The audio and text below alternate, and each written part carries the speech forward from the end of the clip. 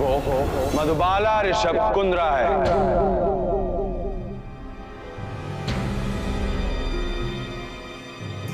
ये बात मैं कभी नहीं भूलूँगा, और तुम भी ये याद रखो कि मधु मेरी बीवी है।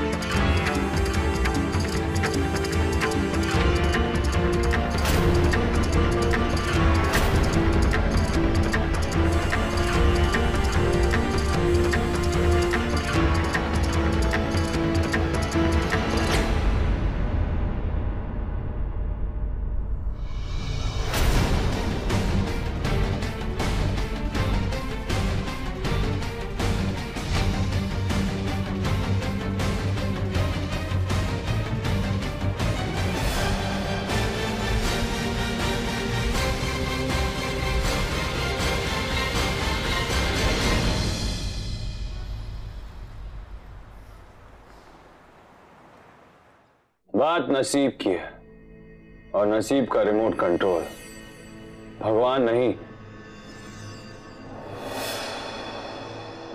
बात नसीब की है और नसीब का रिमोट कंट्रोल भगवान नहीं इंसान।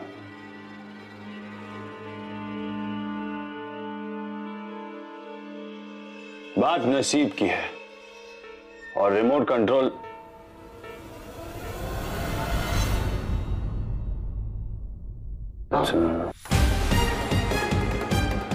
बाहर तुम्हें डू नॉट डिस्टर्ब का बोर्ड नज़र नहीं आया।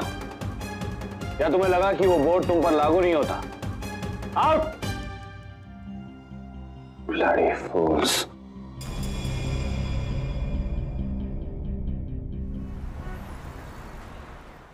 लेट जाइए डैडी जी। हाँ आराम से। हाँ, टांग ऊपर कर लीजिए। अरे। थोड़ा ऊपर हो जाइए ओहो डैडी जी चिल्ला तो ऐसे रहे हो जैसे पेट में अल्सर है। सिर्फ़ गैस है गैस। दवा खा लो सब ठीक हो जाएगा।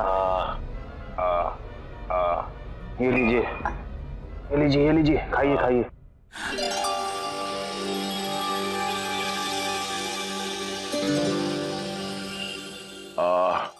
कोई नहीं आने वाला आपको देखने के लिए। इतनी सी बात में लगवा दिया ना फटका। थोड़ा इंतज़ार कर लेते तो मम्मी जी के काड़ी में ही निपट जाते। आ, हमारी बारी आएगी तो बचाओ। पैसा बचाओ। और खुद आयाशी कर रहे हो। अबे उल्लू के पट्टे मैं कोई डांस बार नहीं गया था। वहाँ कभी तेरे बगैर गया हूँ। पेट में तकलीफ़ थी इसीलिए डॉक्टर के पास गया। ओए लाले थोड़ी अपनी डैडी जी की रिस्पेक्ट किया कर। अगर गालियाँ देने का इतना ही दिल चाह रहा है ना तो जा बराबर वाले कमरे में जाकर खूब गालियाँ दे। आरके को जा। डैडी जी बातें कम करो दर्द बढ़ जाएगा। आरके के पास चलेगा दवाइयाँ खाते रहना टाइम पे।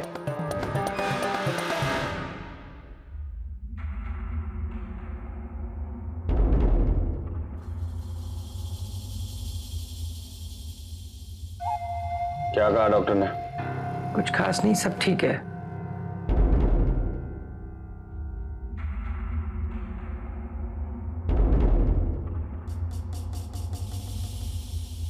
चीफ वो उसके चार पाँच फ़ोन आ चुके हैं।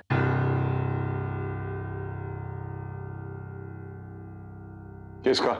वो सुल्तान के आदमी के। सुल्तान वो वही चीफ। वो सुल्तान अंडरवर्ल्ड वाला भाई।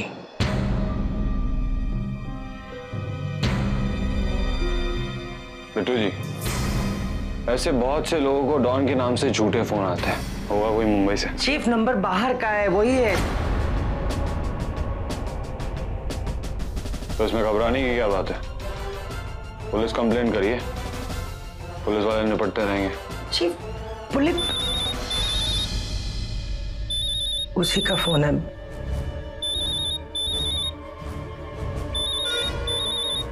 मैं मैं मैं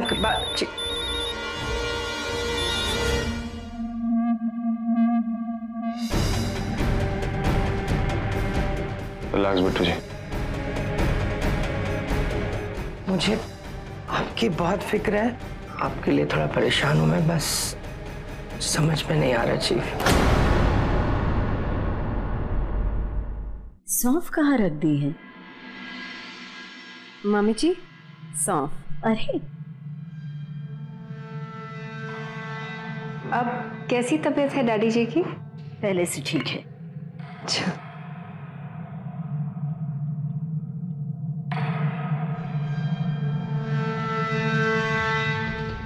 और मधुबाला का पैर?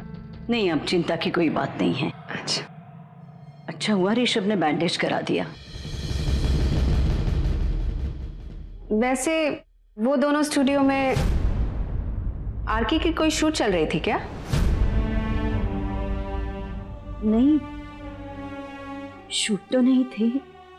बस सब कुछ और ऋषभ की वजह से हो गया। दीपाली, मैंने ऋषभ के लिए कोई बड़ा सपना नहीं देखा था कि वो शादी करके जल्दी अपना घर बसाए। हाँ चाहती ज़रूर थी। अब मधुबाला से अच्छा जीवन साथी, कोशिश करने के बावजूद भी नहीं ढूंढ पाती।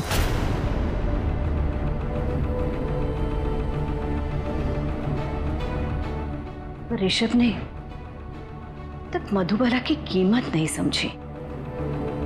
उसके हौसले तोड़ने के लिए वो अपनी पूरी ताकत पूरी बुराई जैसे एक साथ काम पे लगा दी है। उस रात पार्टी में उसका इतना अपमान किया, मुझे नहीं लगता उस लड़की का रत्ती भर भी कोई दोष है, जो वो ये घर छोड़कर चली गई। अगर उसके ऊपर चालीस लाख का बोझ नहीं होता तो वो ऋषभ के साथ एक छत के नीचे कभी नहीं रहती। सब कुछ अपने पिता के लिए कर रही है वो। ऋषभ ने चालीस लाख रुपए दिए थे उनके इलाज के लिए। और बहू खरीद कर लाया मेरी। मुझे कभी कभी बहुत अजीब सा लगता है, जिसे मैं इस धरती पर लाई, मैं उसे समझ ही नहीं पा रही हूँ। एक तरफ़ तो ऐसा बर्ताव स्टूडियो में उसका ख्याल रखना, उसे संभाल कर घर लाना।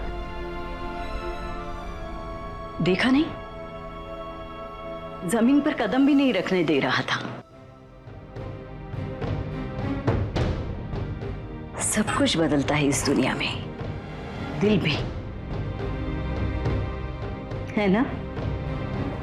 जी।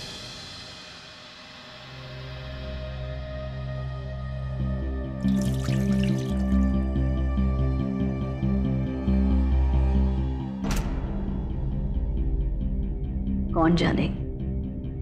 ऋषभ के दिल में भी कुछ कुछ बदलने की शुरुआत हो रही हो? जी।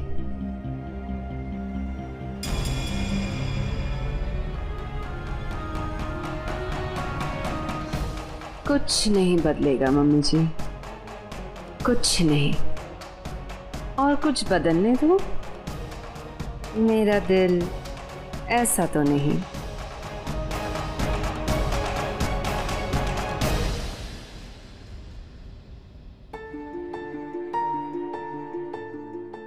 है वो भी वो मधुबाला ऋषभ कुंद्रा है